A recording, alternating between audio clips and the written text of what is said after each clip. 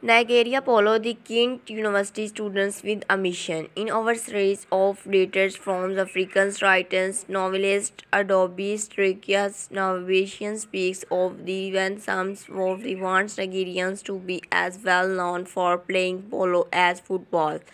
Our childhood's accidents of horseback had left Nigerians Baba Legis trafficked of horses. Not exactly the best starts for an aspiring polo player, a sport which involves charging round on a horse while hitting a ball with a large mallet. But his father's love of the sport finally drew the 20 years old students in. Age of the goat over his hobbies and is now the only black players on the polo teams at the UK University of Kent.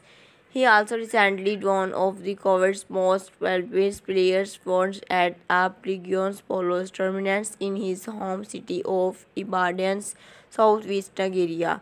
Now Aegis is an ambition often the world's attention of the possibles to the most young Nigerian players professional polo on the world stage.